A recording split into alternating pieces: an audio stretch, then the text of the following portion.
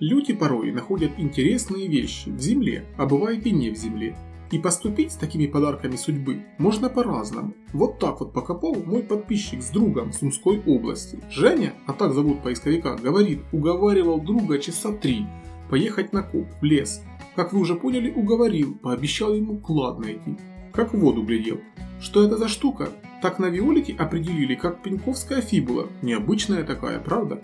Да там было много чего, смотрите, яма-то какая. Да, зацепили прибором Quest 5 на глубине всего-то в 10 сантиметров. Это оказался просто мега-схрон древних времен.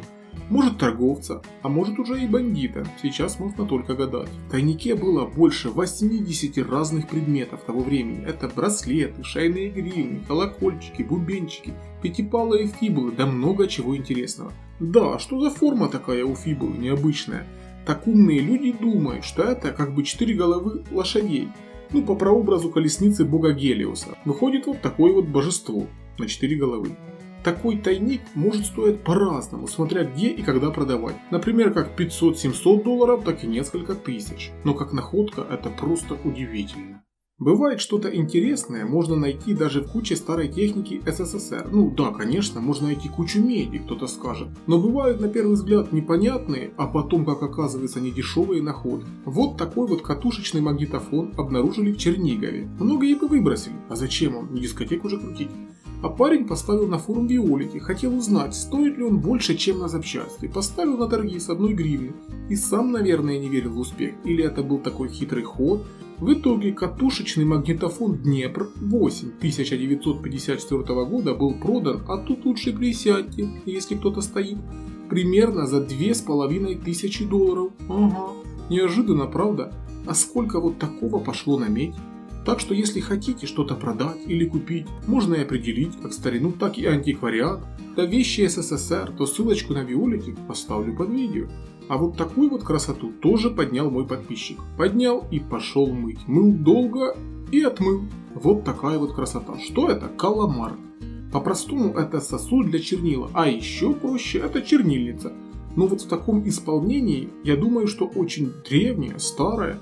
Ним еще и пробочка была, пым. Бывают по цене подобные 300-500 баксов, но вот такую я не видел.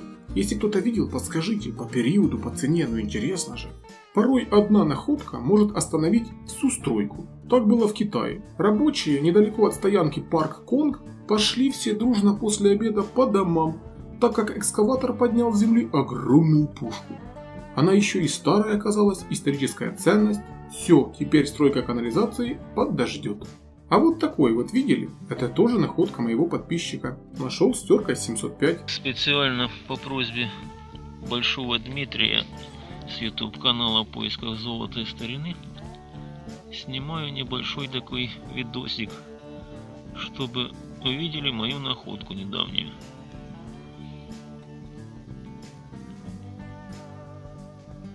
Хм. Нашел был, думал, что мусор сначала.